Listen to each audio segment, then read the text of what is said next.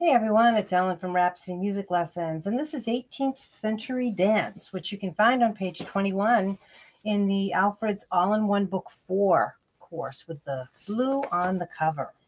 Okay.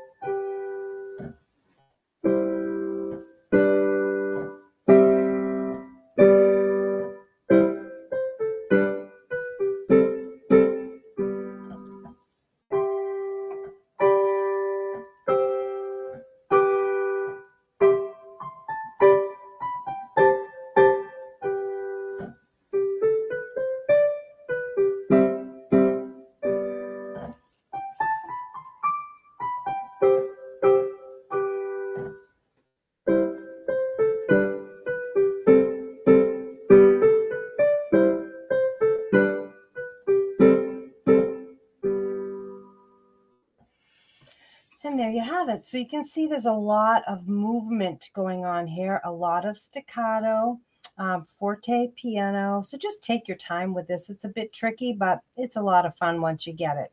I'll leave a link in the description as to where you can find the book. And again, if you like my channel, you find my videos helpful, I'd really appreciate a like and a subscribe. Thanks. I'll see you next time. Bye bye.